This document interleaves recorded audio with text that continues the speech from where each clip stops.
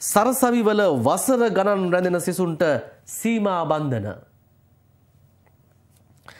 චමින්ද සිල්ලා සහ හෙමන්ත රන්දුනුයි වාර්තාව ගෙන එන්නේ.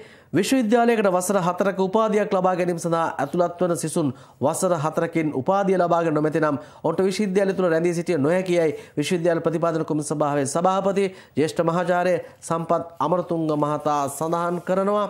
අද අපි තෝරාගත්තේ දිවෙන පුවත්පතේ මුල්පිටුවෙන් මේ පුවත. වසර හතරක උපාධියක් සඳහා සිසුන් ඇතුළත් වී වසර හතරකදී උපාධිය සම්පූර්ණ කරන 90ක පිරිසක් ඉන් පිටවනවත් ඉතිරි පිරිසට තවත් වසර 3ක් තුල උපාධිය සම්පූර්ණ කිරීමට අවස්ථාව ලැබෙන බවත් ඒ මහතා සඳහන් කරනවා.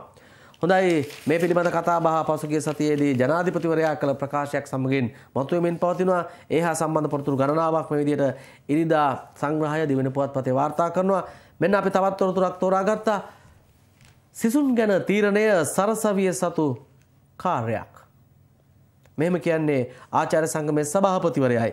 විශ්වවිද්‍යාලවලට ඇතුළත් වන සිසුන් උපාධිය සම්පූර්ණ කළ යුත්තේ කුමන වසර ගණනකින්ද යන තීරණය කළ යුත්තේ ඒ ඒ විශ්වවිද්‍යාල තුළ පවතින සනාතන සභාව විසින් යයි විශ්වවිද්‍යාල ආචාර්යවරුන්ගේ සංගමේ සභාපති මහාචාර්ය OMHSK බන්නැහැක මහතා දෙවනි නිර්දා සංග්‍රහයට පවසලා තිබෙනවා.